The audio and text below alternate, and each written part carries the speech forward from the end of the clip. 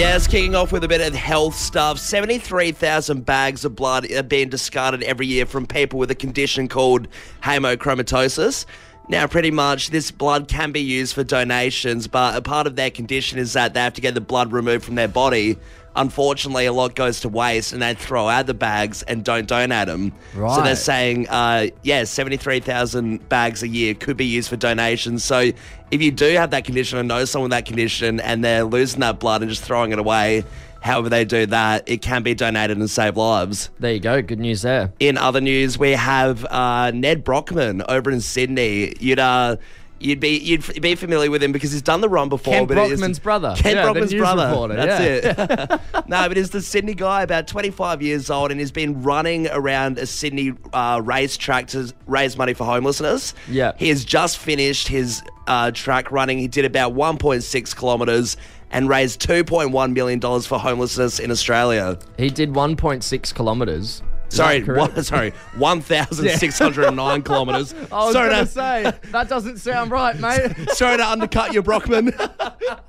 no, he did a hell of a lot more than that. But yes, the correct figure for money, $2.1 million. That is true for homelessness. $2.1 million. Well so done. he absolutely smashed it on that one. yeah, that and running 1.6 kilometers. He did a bloody- a round of applause. bloody fast.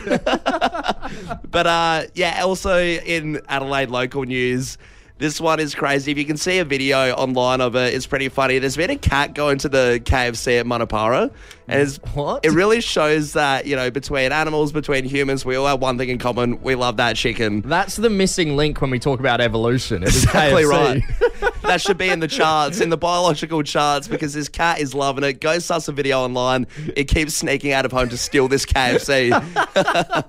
what would you say if I were to tell you you have a presentation due this week, No! or that your those reports have spelling mistakes in them, No! or that you have to sit in a boardroom for three hours? no! Well, wait no longer because this is not our reality for the rest of the week because the bosses are going away. Yes, the corporate fat cat and his minions are, are leaving the office for the next two days. So we have a two day leeway pretty much where it is quote unquote what's going around the office is that it could be anarchy. I think people are hmm. End of picturing the, the world, I heard. Yeah, big- Apocalypse now. big metal drums of fire, you know, mutants running around the office. It's going to be like the scenes of Mad Max, what people are thinking. I think so. And I was even at the pub yesterday with a few colleagues, and quote unquote, makes the pub sound all, all that more professional if you say colleagues. but one person in particular literally said, quote unquote, I don't think anyone's going to get any work done this week. Sort of preemptively saying, we're done for. It's, uh, it's a holiday for the next two days. The boss and uh, all the other managers are out of town. yeah, they're, they're gone from Thursday and Friday. So we thought, let's get ahead of the curb here. Let's go to the text line. What should we do tomorrow when all our bosses are away, Adelaide? It could be absolutely anything. We can't get in trouble till at least Monday. Mm.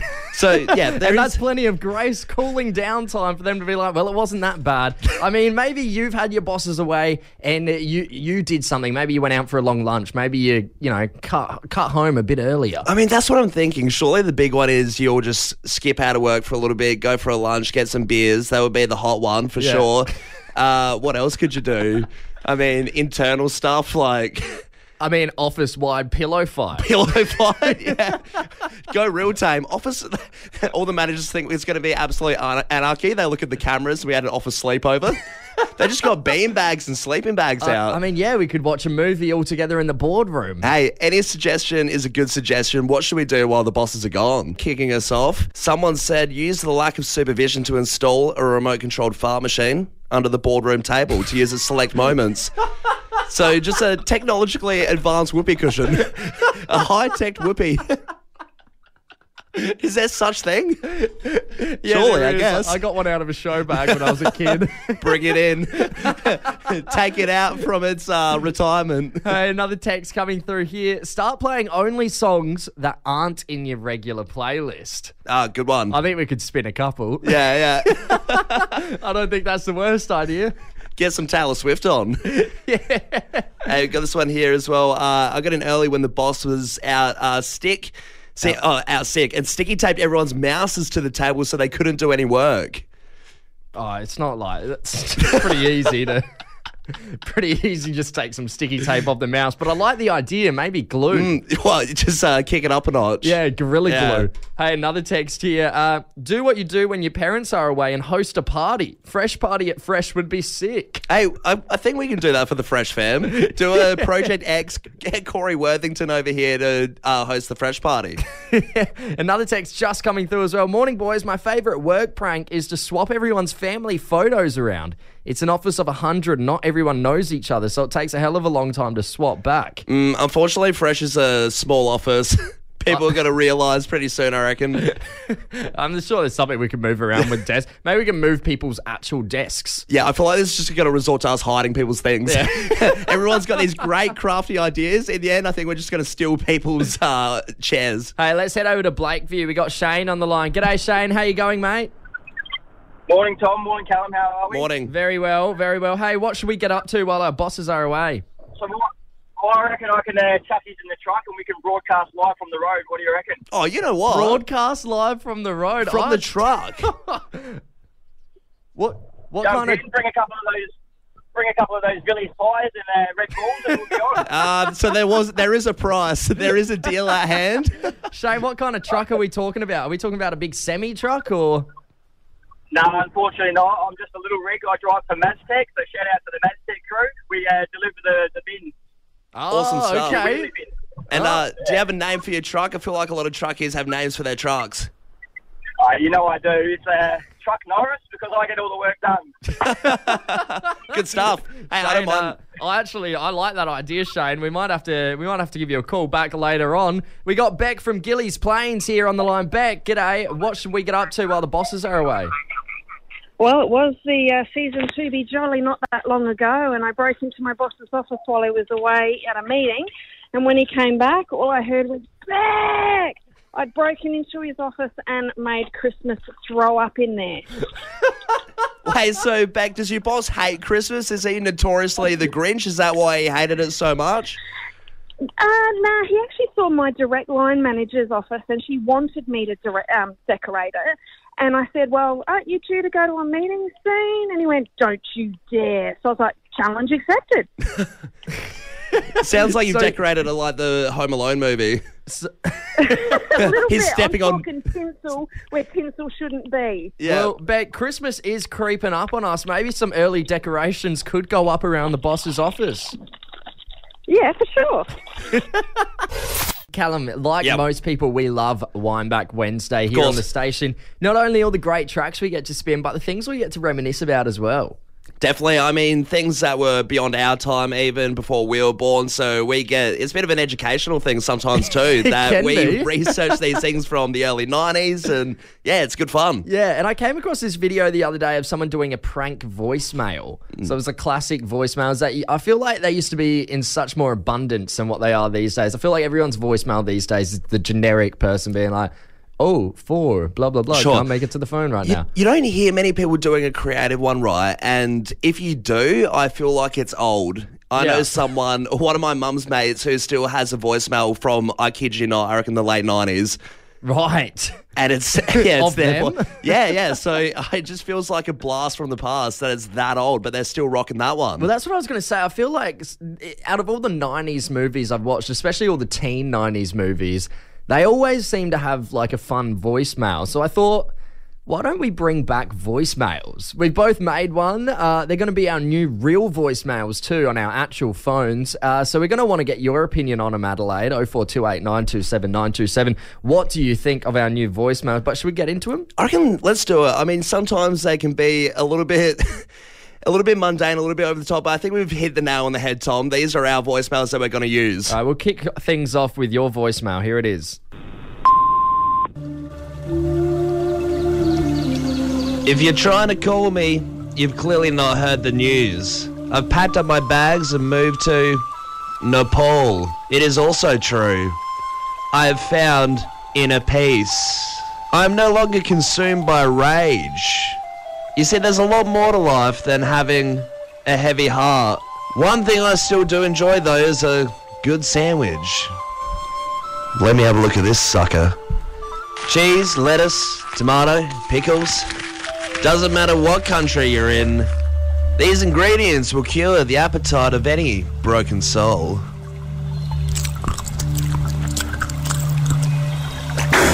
Oh, this is shit. What do you call this? There's not even any butter on it. You haven't even taken the crust off. I blew all of my money to come here for inner peace. This is a joke. I'm going back to Adelaide. My trip to Nepal, Nepal was quite harrowing, as you heard. So that would be my voicemail for a little bit, just so everyone's aware of my holiday and what happened. What kind of picture are you trying to paint of yourself? Uh, worldly, worldly with a little bit of a temper. All right, here's my voicemail. Hi, you've reached the voicemail of Tom Holmes. There could be multiple reasons I can't make it to the phone right now. I could be Flying my squirrel suit from the top of Mount Lofty! Yeah! I feel so free. Bug in my mouth. or maybe I'm Free climbing the Crowne Plaza on Frome Street. Oh, I might get the elevator down. Whoa! but most likely I've stepped out to get myself some of that sweet, sweet dirty birdie. Order for Tom, one large zinger box. Leave a message after the beep and I'll return your call after this this um Now I have to ask, what trying to, what, what picture are you trying to paint for yourself? Just really looking for some free KFC. Adelaide, let's wind back the clock. The new quiz with a bit of a spin.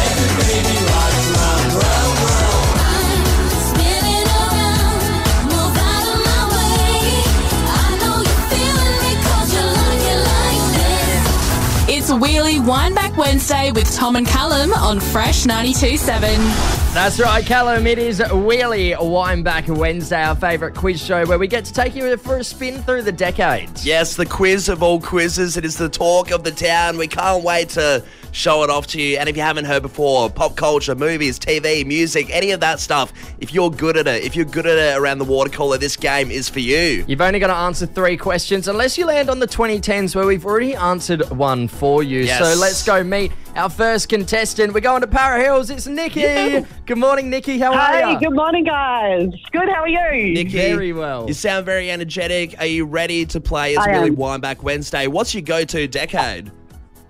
Uh, probably somewhere around the 2000s. Good stuff. All right, the 2000s where we've got our resident wheel spinner, Erin, in the studio with us. Erin, can you do your best to try and get the 2000s for Nikki? I will do my absolute best for you, Nikki. Good luck.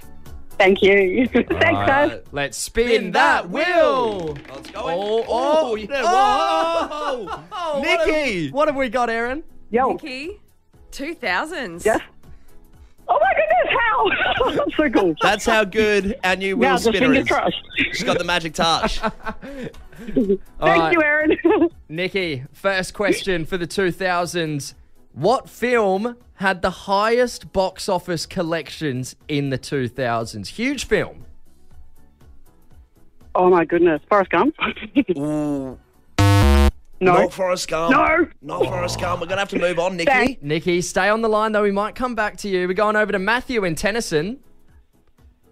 Hey, how you doing, boys? Very good. Matthew, do you reckon you can sort this one? What film had the highest box office collection in the 2000s? Oh, I'm gonna have to go with the Avengers. Matthew, it's not the Avengers. Matthew, stick around. Stay on the line, mate. We're going to go to Tyson in Gawler. Tyson, do you know the answer? Uh, is it Avatar? He's He's got, got it. He's got Avatar. Hey. It's either Avatar or the Avengers.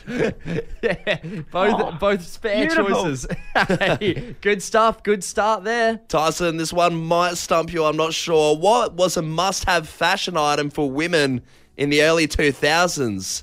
It's very popular with celebrities.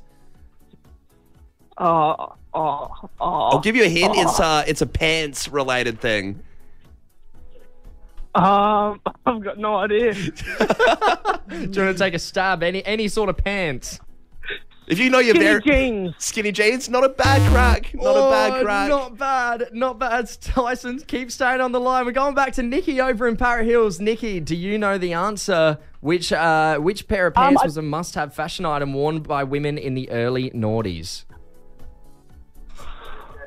Um, pants of the girls. And, oh, I, ca- I don't know that one. Nikki, it's a And I think you think I would because I was a girl. a type of jeans. if you can uh, hit the nail Type on the head. jeans. Yeah, type of jeans. Skinny jeans have been said. Think the opposite. Claire's. She's got it. She's back in the game. He's back. All right. Can we wrap things up right now with the final question? What social media platform came into existence in 2004? Insta. It's not Insta. Oh, we're Nikki, gonna have to move no. on. Back to Matthew. Matthew. Snapchat. Snapchat.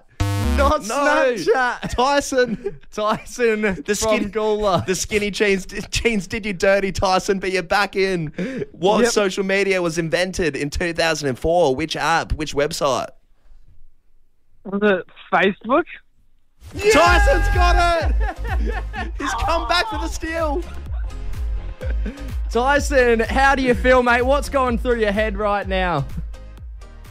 I'm very confused actually. Didn't mean to call up and uh, called the wrong number. So yeah. Hey, look, it worked out for you. Tyson was actually meant to be on hold to Australia Post. Tom, sport goes beyond the depths of anything, right? There's so much we can enjoy as viewers and what you can watch on the TV. You have your soccer, baseball, basketball, but. yeah, there's even more like stranger, more niche Sure. sports out these days that you can find. Well, I was looking at it. We got cheese rolling in England where they roll wheels of cheese down Yes, hills. Yes, I have heard of that actually. Ostrich racing has been around a while, Yeah. but you know, people are actually watching it on TV now and stuff. So crazy things are going around. Even in Dubai, they have like robot jockeys riding horses. Exactly right. so camels, sorry. Yeah. So weird as, and there's all these different things, but one is taking the cake, and one is going very popular on the internet right now, and it's spider fighting. Spider-Man, Spider-Man does whatever a spider can. Now, explain spider fighting to me. Well- it sounds like you- you're just fighting two spiders. what? One man against sp- a bunch of spiders? Put it in arachnophobe Yeah. in, a, in a pit full of uh, One bi- huntsmen. It's like Harry Potter and the Chamber of Yeah. Secrets. There's just one big spider, you go up against it. What is a spider fight? So over in Asia, it's really popular at the moment, and I won't say it's got the traction that it's ended up on TV or anything big. It's just happening in schools, really. So it's it's at base level. Okay. It's it's on the come up, but pretty much uh, you'll get one spider against another spider, and they'll fight on a stick.